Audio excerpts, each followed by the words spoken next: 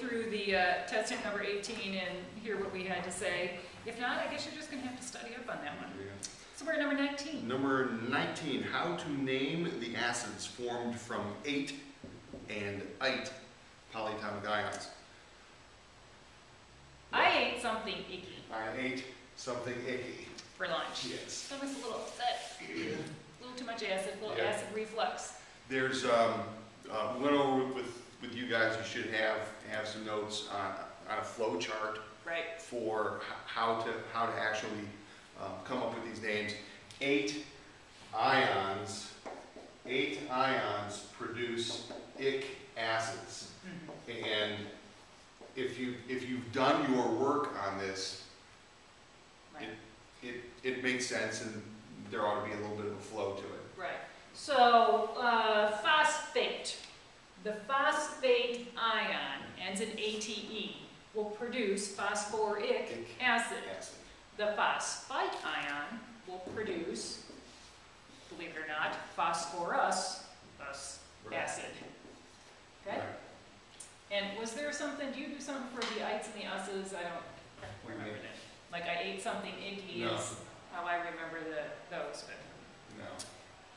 So you're matching the correct ending, and again, that's uh, affected by the oxidation number of the uh, non-oxygen atom in the ion. Uh, Number 20, Ooh, Yeah. twenty, yeah.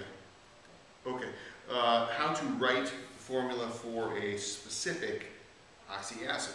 So if we, if we give you, uh, phosphorous acid, right, you have to come up with the correct formula. You have to remember that the us acid was produced from an ite ion. right, so you need to know if it's phosphorous acid, then you're talking phosphite, and you know your formula for phosphite, that's an um, so it went from four oxygens to three oxygens, minus three charge. It would have to have three hydrogens in front, which make it an acid, uh, to balance that out. So that would be H3PO3. Hopefully you'll be able to see the orange uh, marker there. You said it. Okay. 21. How bases are named? Um, hello.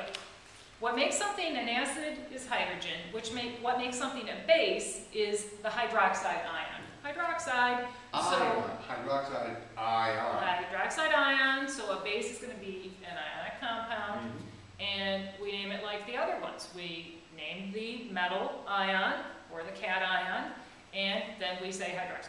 Yep, just, just metal like hydroxide. any other ionic compound. I guess it could be ammonium hydroxide too, so. Hmm. Okay, 22. Twenty-two, um, how the law of definite composition affects, uh, compounds. Well, it, it shows how they're put together, Well, yeah, right? yes, that, and that that one compound is always gonna be in the same proportion by mass. By mass. It's always gonna be in the same proportion by mass. It doesn't matter if you have, uh, five million tons or five grams, Right. it's always gonna be in the same proportion by mass. Same ratio, same, Same ratio, percent. Right, Um, remember back to the fasteners and rings lab? there you go, Way back. Oh my gosh, it's like the stuff we did before, they have to know now. Right, Who knew that would happen? right. Alrighty, test hit number 23. How to write the formula when given the name of a binary molecular compound. Molecular means covalently bonded. Binary means two different kinds of atoms. So a name will be fun, something fancy schmancy like diphosphorus pentoxide. What? Ooh. Diphosphorus pentoxide? I saw, I saw an article in a, in a paper, About diphosphorus pentoxide? no, no, no, that there was a huge chemical spill Oh, of dihydrogen monoxide. dihydrogen monoxide. Oh It- my took God. all day long to try to get this spill under control, and it was completely Right. unsuccessful. Right. It It- it that's was, it like was the across worst the one. entire region, That's, that's the worst one. yes. Uh, diphosphorus, di is two, so that's phosphorus, two. Uh, pentoxides, we have our oxygen and pent, you know that, penta, uh, the prefix is, it's the prefix for five. Okay, Um, number twenty-four involves, uh, writing the correct stock system name Roman numeral, uh, when given the formula of a transition metal containing compound. Okay, and you've done a lot of these.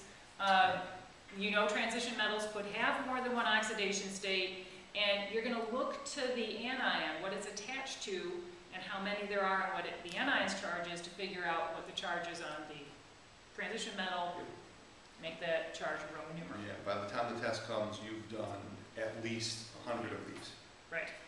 All right, test hint number twenty-five, what the ate and ite endings mean for polyatomic uh, ions, or the composition of the ion. Didn't we do that already? We did something just like it. It, it was, it was worded Yeah. differently. Oh, It was, it was worded differently, but. So we talked about the difference between the ates and ites, nitrate, nitrite, and so on. If you look at all those that end in ate and ite, what element do they have in common? Oxygen. Oxygen. Right. All right, Number twenty-six? twenty-six, how to name a binary molecular compound when given the formula. So, Well, that's, that's just the opposite of that one, right? yeah, if we give you the formula, can you translate these numbers into the name? Dihydrogen pentoxide. Okay. There weren't too many of those on the monster. There were a few here and there. There um, were enough. But th- that's pretty Yeah. easy to get. Test hint number twenty-seven, define chemical formula. Uh, look it up. Yeah, My, okay. my students hate it when I say that. I But you know. what, it's I a didn't think you were definition. gonna say that. It's a definition, That's good. look it up. Find it. And on to the short answer. Number twenty-eight, uh, how to identify the exact charge on the ion in a given formula. You know what? If I reflect onto the, Yes. the chapter twenty test, which the Mhm. students just took, Mm. they had this question, it was on that test.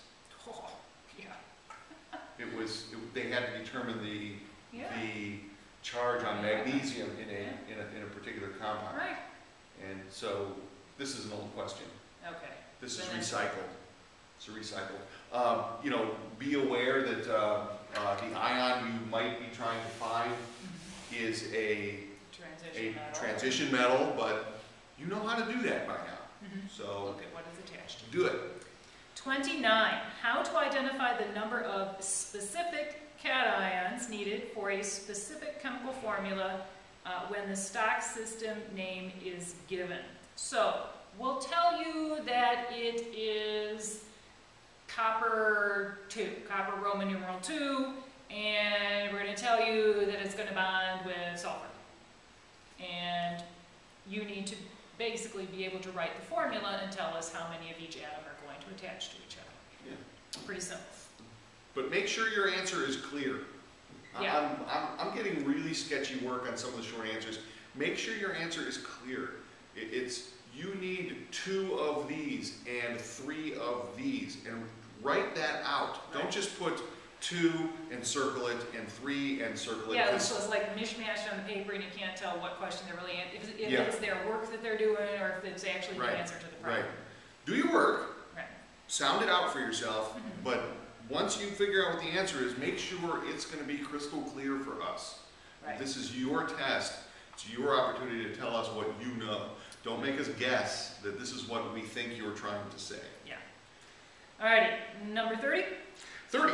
Uh, how to write the correct formula for a compound made of only polyatomic, only polyatomic Only ions? polyatomic, it's probably got a lot of Can you- atoms in it. Can you do that? Oh, yeah, yeah, Oh, right. There is a, a very common right, polyatomic cation. right.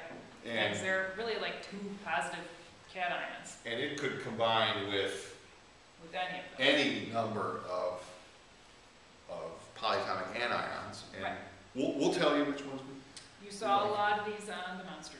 Right. Look for something that starts with that ammonium ion, basically, Mm-hmm. ammonium or mercury too are your only choices. right? and uh, any of those other polyatomic ions, but you have to know your polyatomic ions. Yeah. And since we tell you flat out at the bottom of the test hints, you absolutely, completely, really, really, really must know these polyatomic ions.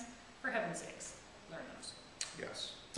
And, ooh, 31, uh, how to name three specific compounds and explain why they do or do not need Roman numerals and or prefixes. So, Uh, you will have examples of a transition metal compound that would need Roman numerals. You'll have an example of a molecular compound Which that would need the Prefixes? dyes and tris and prefixes and that kind of stuff, and you'll have an example of a plain old regular ionic compound that doesn't need either of those because the cation only has one option, uh, one possible charge.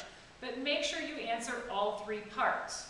Okay, a lot of times, I'll, I'll see students say, oh, well, that needs a three. What? Right. A three Roman numeral, a three subscript, a what, a three prefix, Yeah, tri, I don't know. Right, Um, so be specific and, you know, there'll probably be a multiple point problem. So Yeah. Make sure you use, answer all of it. use some space, you know, the back of the answer sheet's blank, use some space, sound it out, Right. figure out what you want your answer to be, and then, and then come back and write something that's appropriately intelligent Right. for a high school chemistry student in, Right. in March. Neatly written and so on. Yes, Okay. that's we're all it. good. That's it. Um, we've got lots of practice throughout this chapter. Uh, go back and look over your monster, play those games that we have for you on Moodle. Uh, lots and lots of, of opportunities for practice. Good luck studying. What does John say at the end of his videos? Good chemistry. Good chemistry.